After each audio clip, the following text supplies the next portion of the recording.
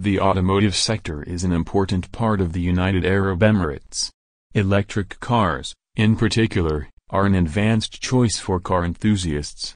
The United Arab Emirates is working to launch the first electric car with the slogan Made in the UAE. But before we start, if you like the video, don't forget to support us, like, subscribe, share. Let's start.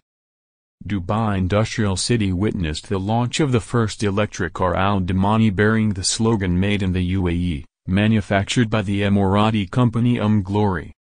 The car is characterized by international standard specifications in terms of safety and integrated luxury, and has a range of 405 kilometers on a single charge, and its price reaches 127.5 thousand dirhams.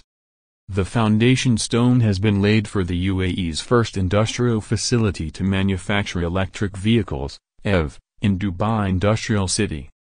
This sustainable industrial facility, advanced in its capabilities and capabilities, will be built on an area of approximately 1 million square feet. It will be the first of its kind in the UAE. It is expected to produce 55,000 cars annually. The M Glory factory for electric vehicles is the first of its kind in the UAE. The investment cost of its establishment is 1.5 billion dirhams. You will work through two production cycles per year. The plant will have the capacity to produce up to 55,000 electric vehicles annually. Using the technologies and techniques of the fourth industrial revolution, the plant will include a welding line, a dyeing line and a final assembly line using the latest robots in the manufacturing processes.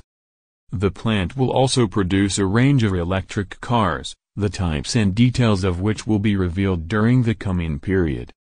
She explained that these cars have competitiveness and endurance, as well as commensurate with the environment and atmosphere of the Gulf region, and will constitute a qualitative addition to the electric car sector. The first fully electric car Damani DMV 300 with European specifications was also revealed.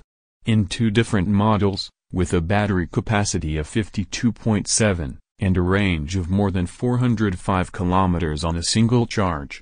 How much can a car be charged with a fast charger in 30 minutes and with a normal charger in 8 hours at a speed of up to 160 km per hour?